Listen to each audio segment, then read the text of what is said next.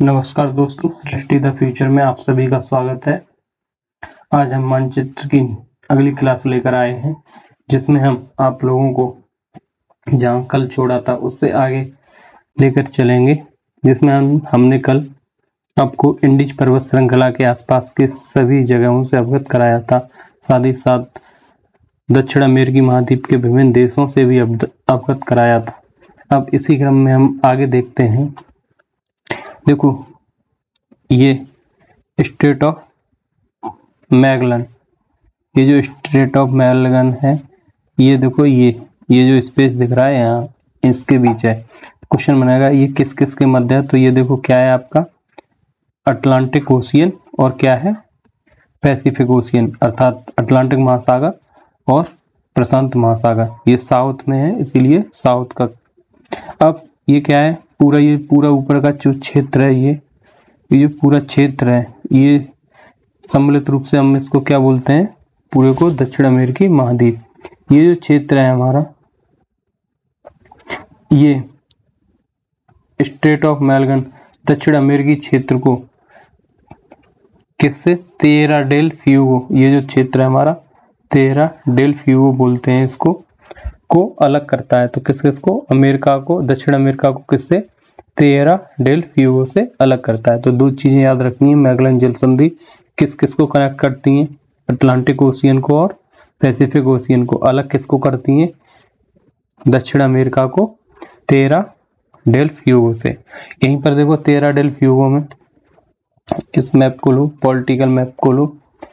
ये ये लगभग यहाँ पर क्या है? अधिवास का अंतिम बिंदु है। इसको उस एसा उस एया हाँ सॉरी यहाँ पर एक क्षेत्र है। उस उस, ये या ये क्या है? अंतिम अध, अधिवास वाला क्षेत्र है। अधिवास बाला स्थल। अब यहीं पर क्या है? देखो, ये क्या दिख रहा है? केप ऑफ़ हॉर्न ये दक्षिण अमेरिका का सबसे अंतिम बिंदु है। तो क्वेश्चन पूछेगा अमेरिका का अंतिम बिंदु क्या है? तो अमेरिका का अंतिम बिंदु आपका।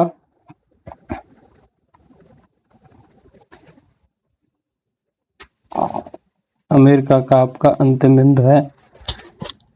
केप ऑफ़ हॉर्न एक मिनट पीपीटी पर चलो यहीं पर लिख रहे हैं। केप ऑफ़ और अमेरिका अमेरिका का दक्षिण बिंदु। ठीक, दक्षिणी अमेरिका का। यहीं पर एक और जगह है आपकी।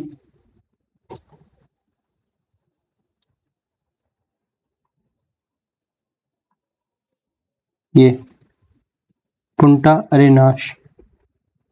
पुंटा अरेनास ये कहाँ है? चिली की।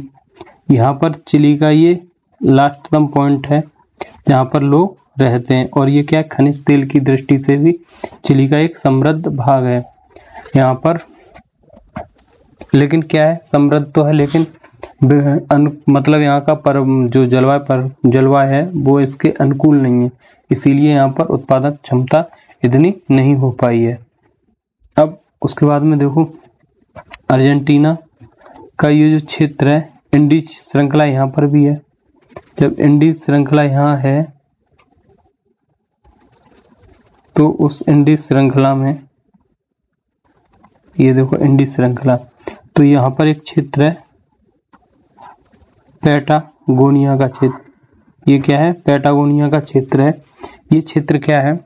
एक तो इंडीज पर्वत श्रृंखला के विष्ट छाया क्षेत्र में पड़ता है, जिसकी वजह से ये क्या है? शुष्क स्थल हो जाता है।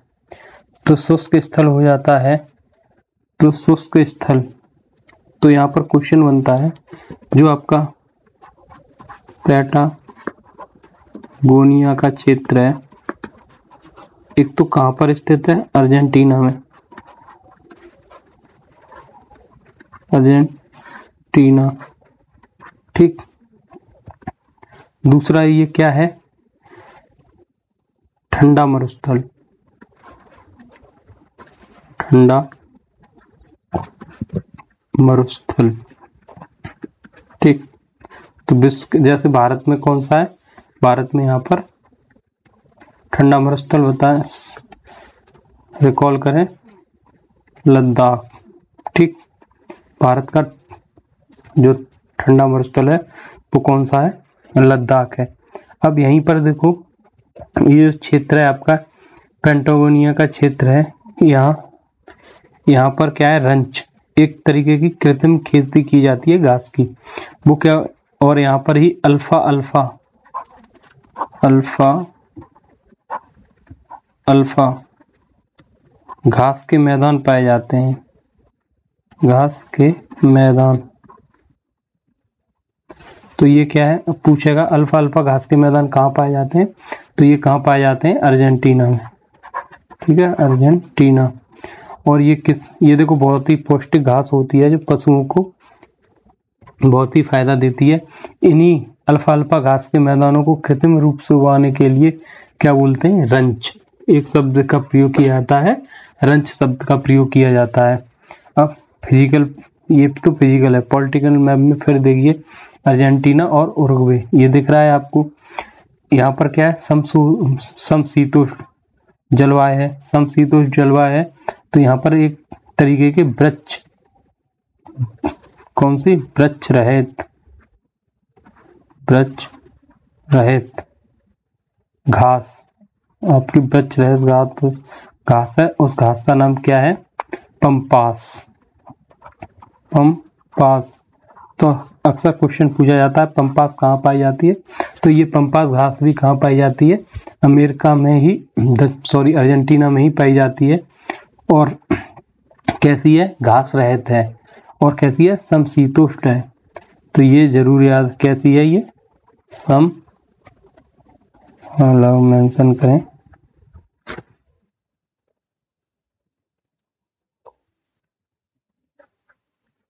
पम पंपाश कैसी है? समशीतोष्ण। ठीक समशीतोष्ण है। कहाँ पर? अर्जेंटीना। और कहाँ पर? उर्गवे। और ये क्या है? कैचिस, कैसी घास है ये? वृक्ष रहित। वृक्ष रहित।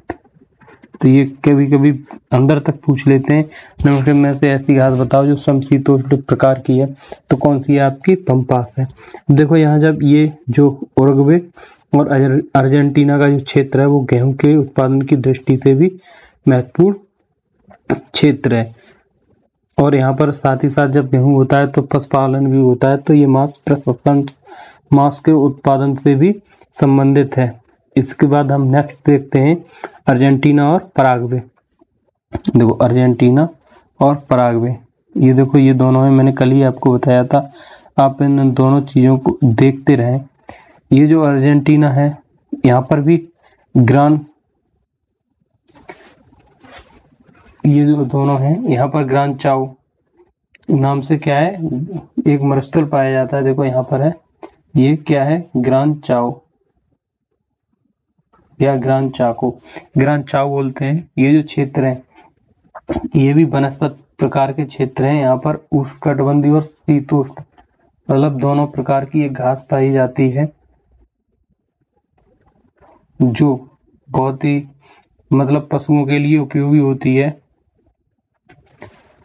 और यहीं पर क्या है, ये जो इस ग्रान चाव का मतलब होता है हंटिंग भूम मतलब ये पहले शिकारियों की घूम रही थी, लोग अपना जीवन शिकार करके ही जीवन यापन करते थे, लेकिन अब इस क्षेत्र में क्या है, ये जो क्षेत्र है, यहाँ पर पशुपालन बहुत ही अच्छे किस्म पर किया जाता है, और उच्च उत्पादकता के पशुओं का पालन किया जाता है ग्रान चाव में। ठीक, ये दोनों कहाँ पर है? ये घास के मैदान ग्रान चाव। घास के मैदान ये आपके हैं अर्जेंटीना और पराग्वे में। ठीक, ये जो दिख रहे हैं आपको, अर्जेंटीना और पराग्वे में। अब देखो, बोलीविया का प्लेटिव यहीं पर बोलीविया है और ये क्या है? ब्राज़ील।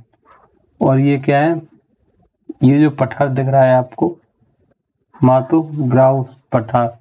ये जो पठार है, ये भी क्या है? मातो ग्रासो पठार। ये एक उष्णकटिबंधी घास यहाँ पर पाई जाती है, जो जिसे हम ब्राज़ील में क्या बोलते हैं? कंपोस। इसी पठार के आसपास एक घास पाई जाती है। कंपोस। कंपोज सॉरी कंपोज घास। ये घास कैसी, कहाँ पाई जाती है? ब्राज़ील में। ठीक तो क्वेश्चन पूछेगा, ब्राज़ील में कौन सी घास पाई जाती है? तो कौन सी है? कंपोज घास है। अब यहाँ पर आप देखें।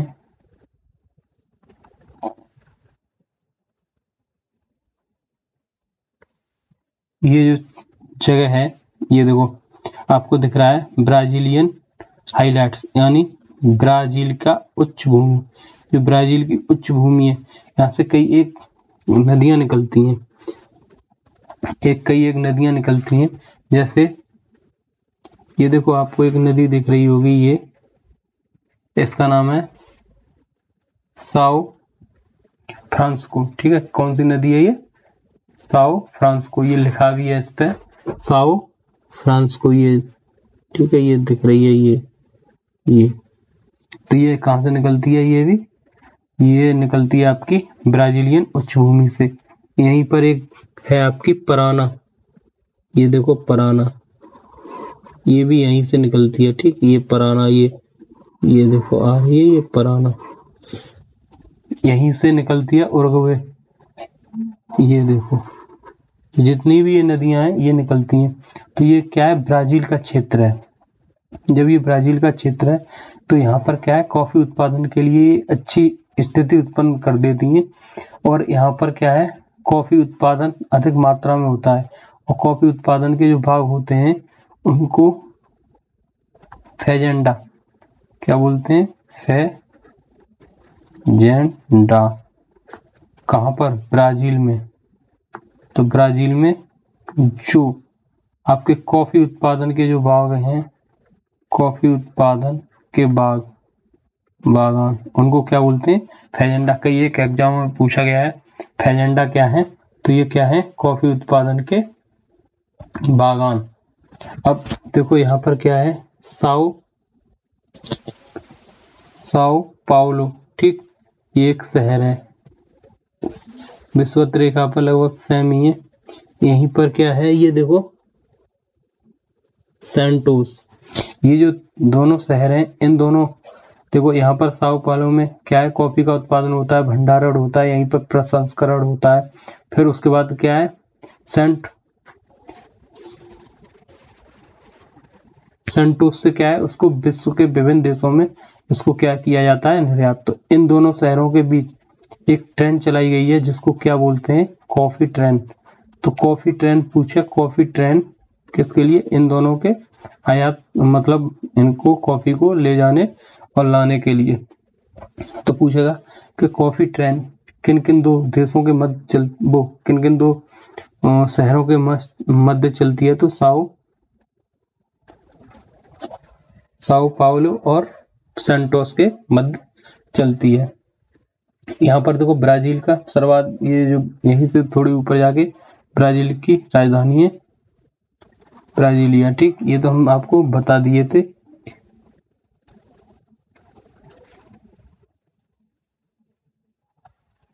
अब जो ये ये जो क्षेत्र है ना, सेंटोस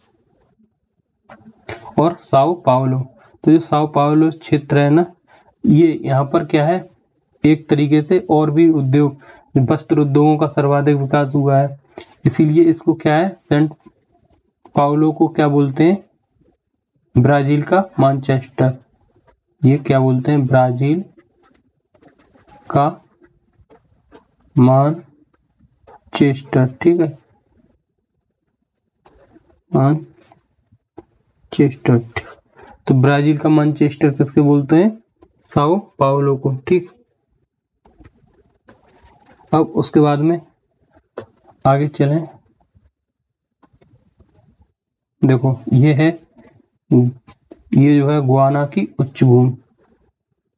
गुआना की उच्च भूमि। इसका विस्तार वेनेजुएला से लेकर पूर्व में सूरीनाम और ब्राज़ील तक है पूरा इसका विस्तार। इस भूमि में विश्व का सबसे ऊँचा जो एंजल फॉल है ना, ये एंजल फॉल। विश्व का सबसे ऊँचा जो फॉल, एंजल फॉल है वो इसी जलप्रपात पर स्थित है। यहीं पर क्या है? एक नदी है। ये ऊपर देखो, दिख रही है ना ये? ये जो नदी है ओरी नोको नदी ओरी नोको नदी।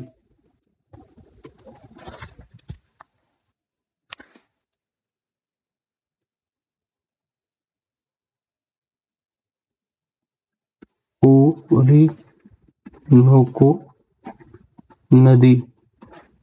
इस नदी पर एंजल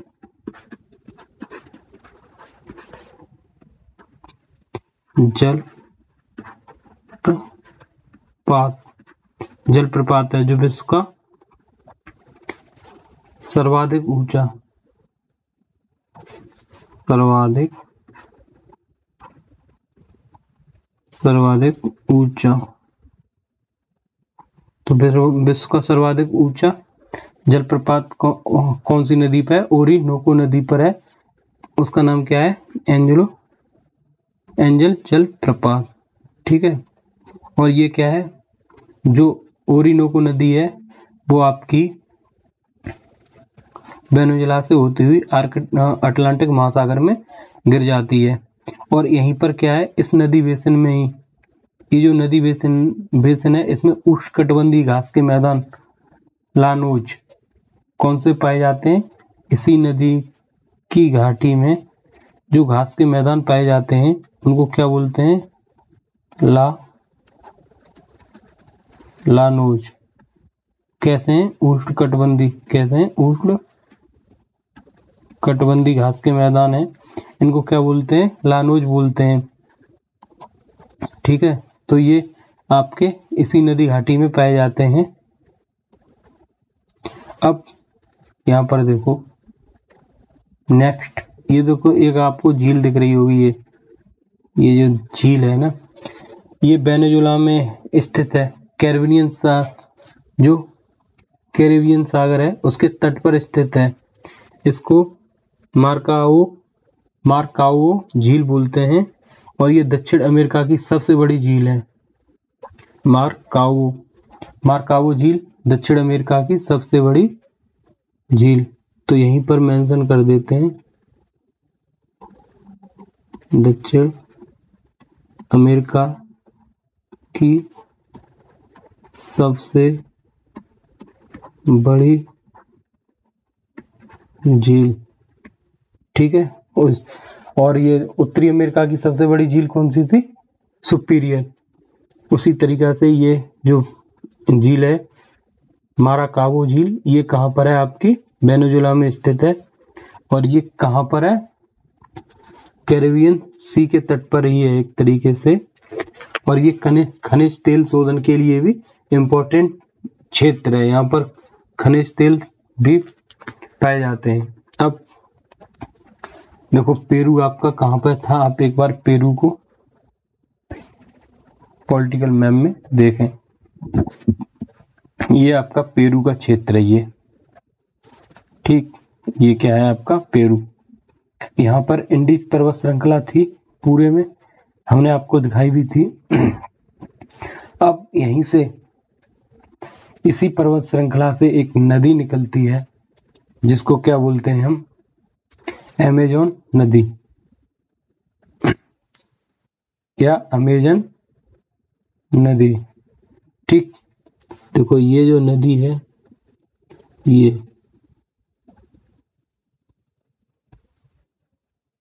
ये ये क्या बोलते हैं?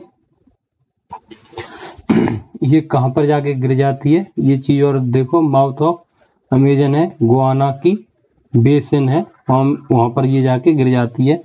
और ये क्षेत्र किसका है? पूरा अटलांटिक महासागर का क्षेत्र है, उत्तरी उत्तरी अटलांटिक महासागर का क्षेत्र है, यहाँ पर आके गिर जाती है। तो एक तो निकलती कहाँ से है? पेरू से निकलती है, इंडीज पर्वत श्रृंखला से निकलती है और गुआना बेसिन में गिरती है। गुआना बेसिन किसका भाग है? अटलांटिक महासागर का भाग है। इतनी चीज़ें यहाँ पे याद रखें। उसके बाद दूसरी बात, लाओ, यहाँ पर लिखे हैं।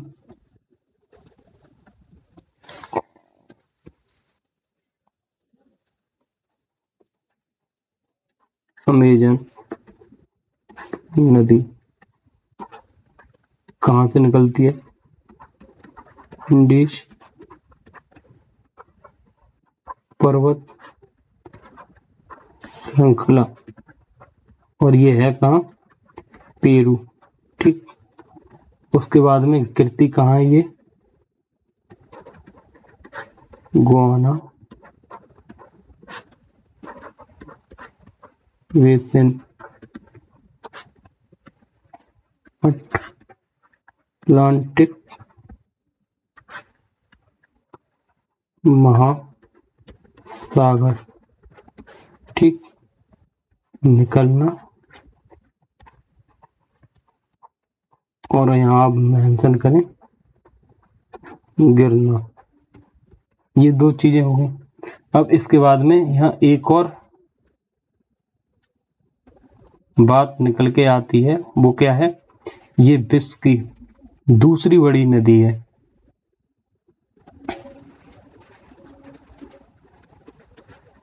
विश्व की दूसरी बड़ी नदी है। पहली नील नदी है। उसके बाद इस अपवाह की मतलब क्षेत्र अपवाह क्षेत्र देखो। क्या होता है यहाँ? अपवाह क्षेत्र ये क्या है? देखो, कई एक नदियाँ इसमें आके क्या है? मिल रही हैं, ये ये ये। तो काफ़ी बड़े क्षेत्र को ये क्या है? सम्मिलित कर रही है या नहीं कर रही? ये ये।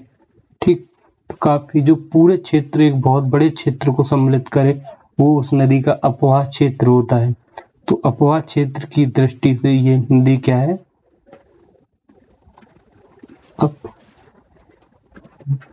अपवाह क्षेत्र की दृष्टि से सबसे बड़ी नदी। सबसे बड़ी नदी है। अपवाह क्षेत्र की दृष्टि से सबसे बड़ी नदी है।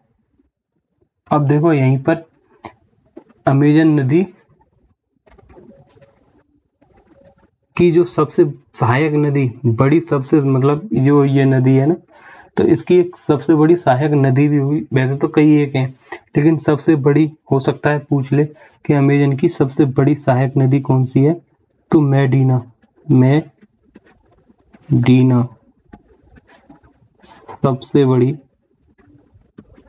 सबसे बड़ी सहायक सबसे बड़ी सहायक नदी। ये क्या है? सबसे बड़ी सहायक नदी है। अब देखो, इसी नदी के किनारे क्या है? अमेजन के विश्वत रेखी। विश्वत रेखा भी यहाँ से ही गुजरती है। तो अमेजन के विश्वत रेखी वन को ब्राज़ील में क्या बोलते हैं? अमेजन के विश्वतीय रेखीय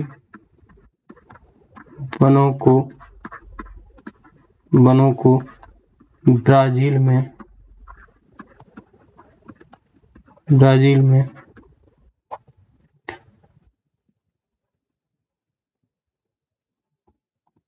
ब्राज़ील में सेलवास सेलवास कहते हैं तो अमेजन के जो वन है, उनको क्या बोलते हैं? ब्राज़ील में सेलवास बोलते हैं।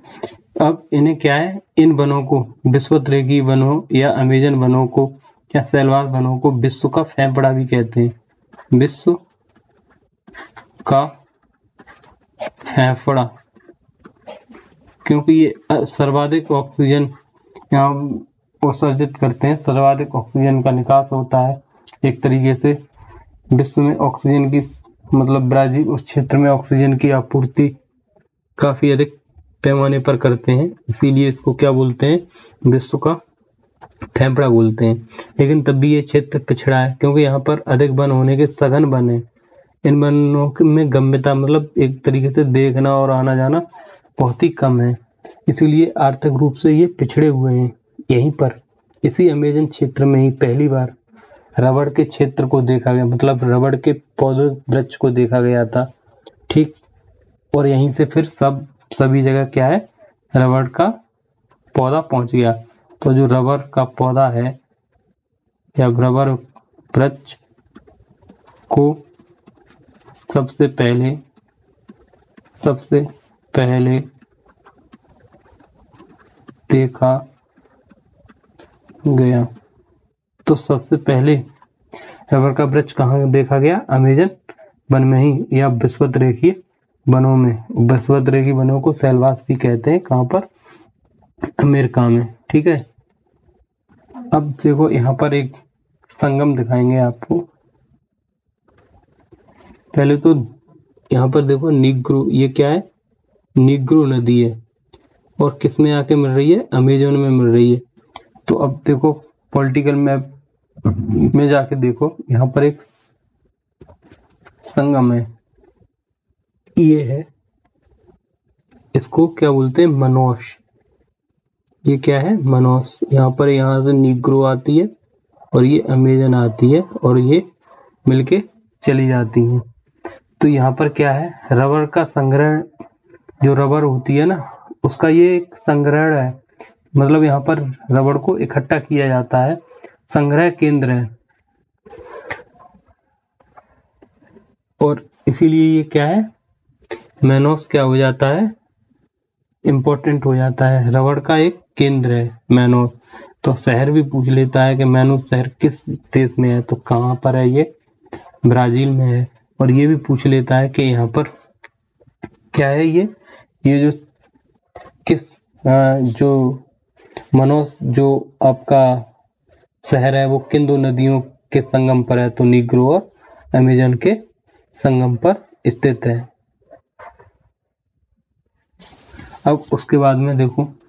ये देखो ब्राज़ील, यहीं पर देख लो। आप ब्राज़ील है ना, ये दक्षिण अमेरिका का सबसे बड़ा देश भी है और विश्व में ये पाँचवें नंबर पर सबसे बड़ा देश है। उसके बाद अब देखो।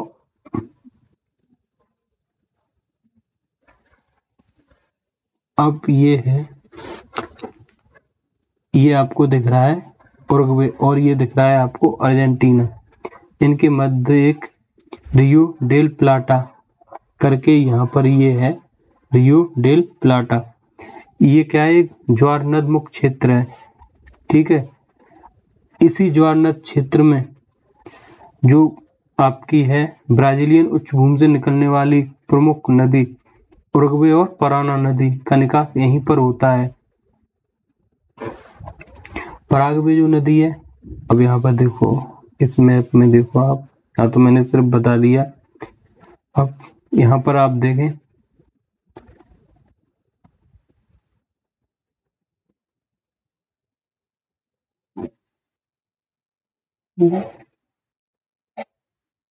ये।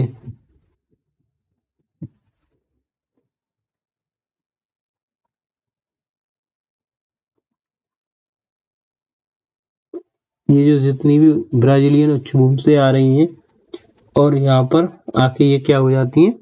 गिर जाती हैं। ठीक, और तो यहाँ पर क्या है? जो उर्गवे व पराना नदी का निकास यहीं पर होता है और परागवे और पराना एक महत्वपूर्ण, परागवे क्या है? पराना की एक महत्वपूर्ण। परागवे।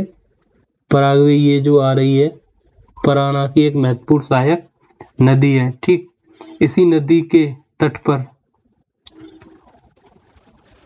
इसकी राजधानी, पराग्वे की राजधानी असनियंस यहाँ पर स्थित है, जो हम कल आपको बताए थे। अब जो, ये जो आपकी परागवे नदी है ना, ये क्या है? ब्राज़ील और परागवे के मध्य सीमा बनाती है। ठीक? तो ये लाओ, लिख दें यहाँ पर।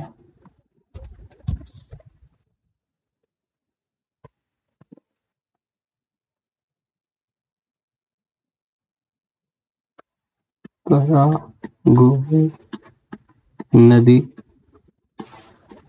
परागवे नदी। एक तो दूसरी सबसे लंबी नदी है अमेरिका की, दक्षिण अमेरिका की। दूसरी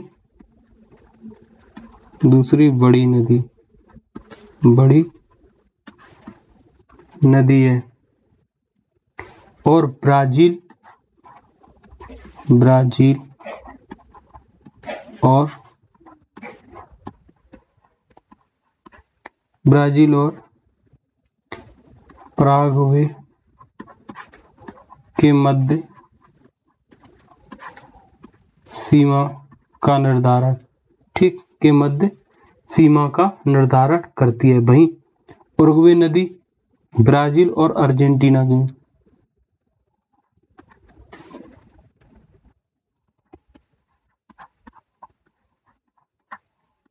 नदी किस किस के मध्य सीमा का निर्धारण या राजनीतिक सीमा बनाती है? ब्राज़ील और ब्राज़ील और अर्जेंटीना। अर्जेंटीना के मध्य क्या बनाती है आपका? राजनीतिक सीमा बनाती है, ठीक? तो ये देखो, आज हमने आपको दक्षिण अमेरिकी महाद्वीप की जो बची कुची बातें थी, वो हमने आज आपको बता दी। इसी के साथ आज क्या है आपका ये पोर्शन? दक्षिण उत्तरी अमेरिका खत्म हो गया, महाद्वीप। दक्षिण अमेरिका महाद्वीप भी खत्म हो गया। अब नेक्स्ट क्लास में हम आपको लेकर आएँगे इम्पोर्टेंट अफ्रीका महाद्वीप। तो आप ऐसे ही सृष्टि द फ्यूचर देखते रहिए। धन्यवाद।